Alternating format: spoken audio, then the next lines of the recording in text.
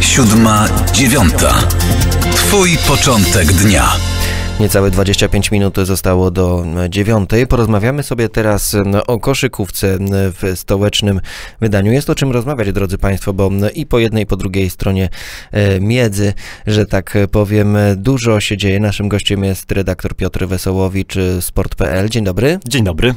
To zaczniemy może od Legii, która na świeżo jest po nie lada wyczynie, e, pierwszym od kilkudziesięciu lat. Wczoraj w trzecim meczu pokonała Anwil Włocławek. Co to oznacza i dlatego, dlaczego jest to taki wyczyn? No jest to wielki wyczyn. Ja pamiętam sezon 2013-2014, kiedy Legia w tej samej hali na Bemowie, w hali, która jest starym hangarem e, na samoloty, e, no wówczas jeszcze taka biedująca, szorująca gdzieś po odmętach drugiej ligi, awansowała do pierwszej, no i to już był wielki sukces. Mnóstwo kibiców w, w hali, wypełniona po brzegi, yy, gorąco, parno, niesamowita atmosfera. No i cóż, wczoraj powtórka z rozrywki, tylko skala już inna, bo drużyna awansowała do finału e, Energa Basket Ligi, czyli do tej najwyższej, e, na, na najwyższym poziomie w samej, w samej elicie.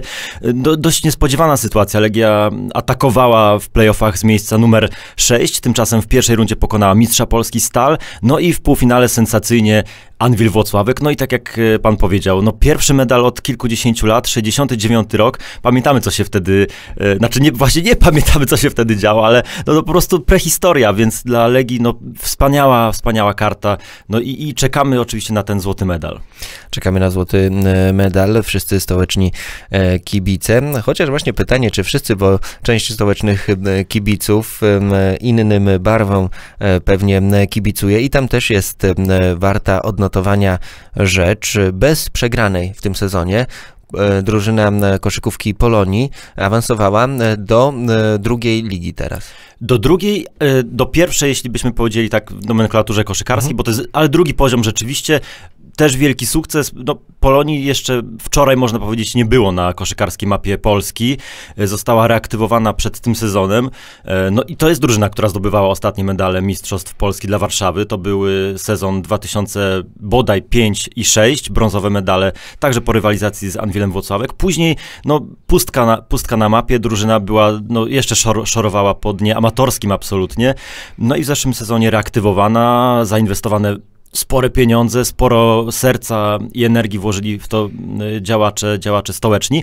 No i wielki sukces. Ani jednej porażki. Jeszcze czeka Polonię y, finał, to dwa mecze, ale już tylko prestiż, bo ten awans jest już, jest już zapewniony. Więc, więc ostatni mecz z Katowicami, byłem na trybunach hali na kole. No fantastyczna atmosfera, świetnie się to ogląda i bardzo się cieszę, że, że tyle drużyn mam, mamy na tej, na tej naszej stołecznej mapie. Co się w takim razie stało, że nagle pojawiła się i Legia, i Polonia w tej koszykarskiej e, elicie. No może Polonia jeszcze nie w elicie, ale e, zmierzam do niej. Tak chyba możemy te wszystkie postępy ocenić. E, gdzie zaszły zmiany? Kto, kto stwierdził, że należy, należy tutaj tą koszykówką w Warszawie się zająć? To jest bardzo dobre pytanie, bo ja pamiętam tekst, który napisałem do Rzeczpospolitej w, chyba w 15 roku i napisałem takie zdanie, że po, warszawski kosz przenosi się na boiska betonowe, bo absolutnie była pustka, nie było żadnej drużyny ligowej i warszawiacy próbowali sobie grać w streetball. Powstawały jakieś pierwsze amatorskie drużyny, no i minęło parę lat i mamy Legię finale Ekstraklasy, Polonię i Dziki Warszawa jeszcze w pierwszej lidze, przypomnijmy koszykarki Polonii w Ekstraklasie, które awansowały do y, playoff i jeszcze szykuje się MKS Pruszków, można powiedzieć tutaj z naszej okolicy jest też o krok od awansu do Energa Basket Ligi Kobiet. Nie wiem, co się wydarzyło naprawdę, ale coś, coś fantastycznego. Zrobiliśmy się stolicą koszykówki i fajnie, że ta atmosfera na trybunach jest. Zachęcam absolutnie wszystkich kibiców albo miłośników kosza, którzy gdzieś tam pamiętali Michaela Jordana, mają jakieś miłe wspomnienia z koszykówką, żeby przychodzić, bo atmosfera atmosfera jest wyjątkowa, jest sympatyczna, jest rodzinna, e, no i dużo dobrego się dzieje. No właśnie, o to chciałem zapytać też, jak wygląda mm, e, no, kibicowanie, interesowanie się e, koszykówką w Warszawie. To taki sport trochę niszowy na mapie stolicy, zdominowany przez inne dyscypliny, przez piłkę nożną chociażby, no i przez te sekcje tych klubów, o których mówiliśmy. Jaka jest atmosfera na meczach koszykówki no w Warszawie? No to jest świetne pytanie, bo, bo dla kibica, który zna tę atmosferę z piłki nożnej, to może być zniech zniechęcające, jakieś widowisko sportowe, żeby poświęcić sobotę, pójść na mecz.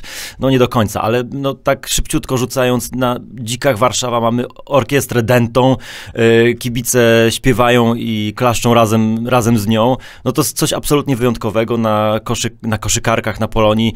Yy, też jest prowadzony doping, ale, ale jest sektor rodzinny, tak samo na Legii, na Polonii jest kącik dla dzieciaków. Rodzice mogą sobie w spokoju obejrzeć, obejrzeć fajne widowisko, więc zdecydowanie zachęcam, bo to jest coś absolutnie unikatowego yy, i niespotykanego na, na innych obiektach. Fajny sport, y, fajne wydarzenie, także żeby się y, wybrać z rodziną. No to na koniec pytanie, gdzie będą derby najpierw? W piłce nożnej czy w koszykówce w Warszawie? Dobre pytanie. No chyba y, w koszykówce w pierwszej lidze, czyli dziki, dziki Polonia, no ale liczymy, że Polonia e, tak pójdzie za ciosem i może w jeden sezon awansuje jeszcze do Ekstraklasy. Będziemy mieć Polonia, Legia w elicie koszykarskiej. No też tak mam taką e, nadzieję, e, no bo jednak to jest, to jest coś, co chyba najbardziej rozgrzewa kibiców w Warszawie, te derbowe e, pojedynki. Zachęcamy w takim razie do tego, żeby się koszykówką zainteresować, w Warszawie wybrać się na mecz i też może właśnie z całą rodziną, z dziećmi uczestniczyć w tych spotkaniach. Opowiadał nam o stołecznej koszykówce Piotr Wesołowicz, sport.pl. Bardzo dziękujemy. Dziękuję również. Siódma, dziewiąta. Twój początek dnia.